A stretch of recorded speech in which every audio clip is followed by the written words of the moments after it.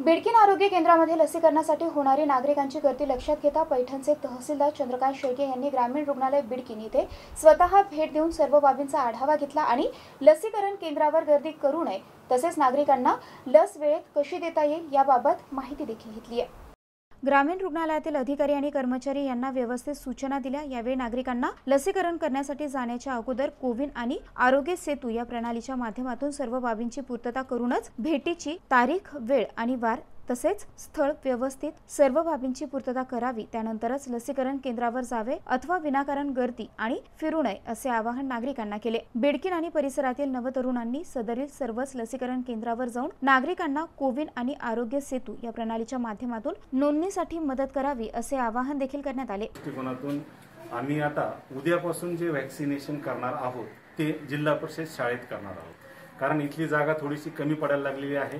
तिथल्या आपण पाच ते सहा रूम वापरून अगदी सुटसुटीतपणे बसायलाही जागा होईल आणि त्यानुसार व्हॅक्सिनेशन सुरळीत होईल हा त्यामागचा उद्देश आहे. दुसरं माझं असं बिडकिनकरांना आवाहन आहे की अशा प्रकारे गर्दी करायची नसेल तर ज्या लोकांना मोबाईल ऑपरेट करता येतं चांगलं त्यांनी रजिस्ट्रेशनचं काम आधी करून घेतलं तर अशा गर्दी होणार नाही.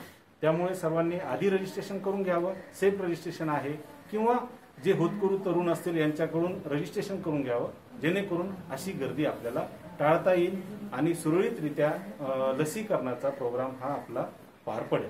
सर जे रजिस्ट्रेशन करणार आहे त्यांना ग्रामीण रुग्णालयाने आपल्याकडून सपोर्ट मिळेल का? हो निश्चितच निश्चितच. मी आता नेमकं देशपांडे मॅडमलाही सांगितलेलं आहे की आपण लसीकरणासाठी जर कोणाची मदत घेतली तर निश्चितपणे त्यांना एखादी रूम आम्ही उपलब्ध करून देऊ.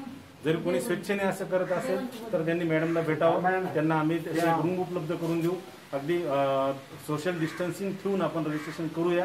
जेणेकरून पुढचा आपला सुरळीतपणे लसीकरण होईल. पर उद्याचे जे लसीकरण करणार आहे त्याच्याबद्दल नियोजन झालंय का पूर्ण? हो झालेलं आहे. आपण त्या शाळेमध्ये उद्या सकाळी जाऊन भेट देऊ शकता.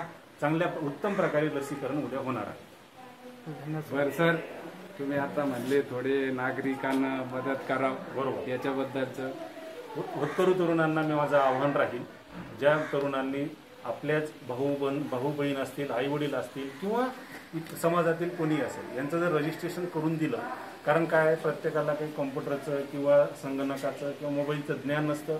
कोविन ॲपवर आपण अशा प्रकारे रजिस्ट्रेशन जर करून दिलं तर जे अज्ञानी आहेत अडाणी आहेत अशा लोकांना मदत होईल आणि लसीकरणसुद्धा लवकर होईल. यावेळी तहसीलदार चंद्रकांत शेळके वैद्यकीय अधीक्षक डॉक्टर अंजली देशपांडे डॉक्टर सूर्यवंशी कनिष्ठ लिपिक शिवाजी जाधव तलाठी संतोष बिरुटे कोतवाल किशोर औचिंदे यांच्यासह अनेकांची उपस्थिती होती. Ravindra Gaikwad MCN news Bidkin.